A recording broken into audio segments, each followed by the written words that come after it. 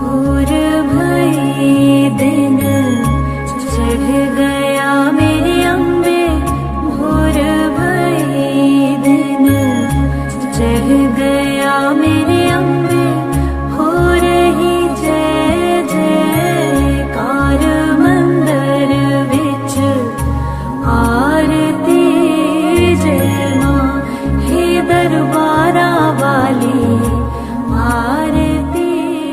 નમસ્કાર, ખબર વડાલી સૌ પ્રથમ અસર અમારી.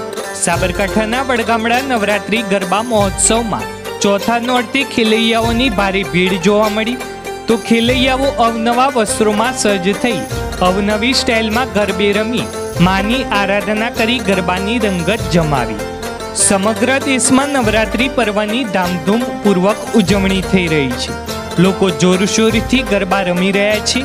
ત્યારે વડગામડા ગામે પણ લોકો નવરાત્રિની ધામધૂમ પૂર્વકથી ઉજવણી કરી રહ્યા છે.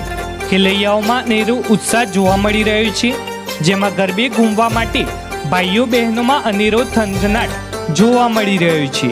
નવરાત્રિના દિવસો જેમ જેમ વીતતા જાય છે, તેમ તેમ ખેલૈયાઓમાં અનેરો ઉત્સાહ પણ જોવા મળી રહ્યો છે.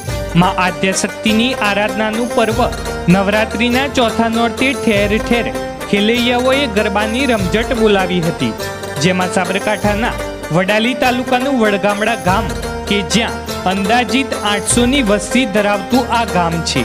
તો આ ગામના નવરાત્રી ચોકમાં છેલ્લા ત્રીસ વર્ષ કરતાં વધુ સમયથી માં આદ્યશક્તિની આરાધનાના પર્વ નવરાત્રી પર્વની ઉલ્લાસભેર ઉજવણી કરવામાં આવે છે.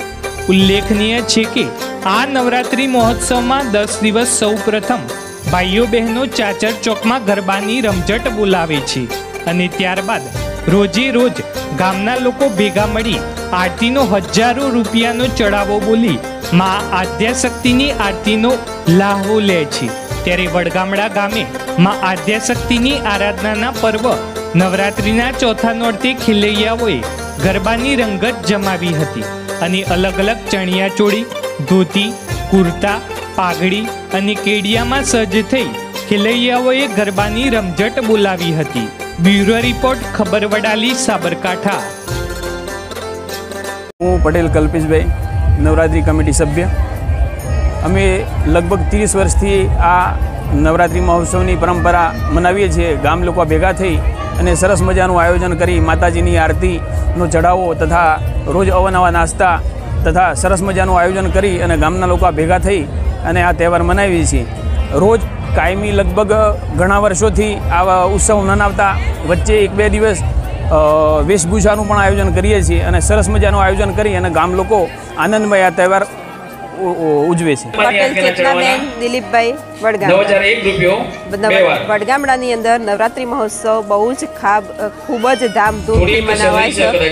અને વડગામડાની અંદર નવરાત્રિની અંદર બાળકો બહેનો બાળકો યુવાનો બધા જ વડીલો બધા જ સામેલ થાય છે. અને બધા જ ખૂબ ઉત્સાહ અને ધામધૂમથી આ ઉત્સવ મનાવવા મનાવવામાં આવે છે. અને નવરાત્રિની અંદર માત્ર બહેનો મોજ શોખ માટે જ ઉત્સવ મનાવતી નથી. પણ મા જગદંબાની ઉપાસના તરીકે શારીરિક શ્રમ ઘરકામ ખેતીકામ હોવા છતાં પણ ઉત્સાહથી મા જગદંબાના ગરબા રમવામાં બિલકુલ પચાસ રાખ્યા વગર કમ્પ્લેટ માતાજીની આરતી થાય ત્યાં સુધી કમ્પ્લેટ માતાજીની ઉપાસના કરતા રહેલા છે બધી બહેનો.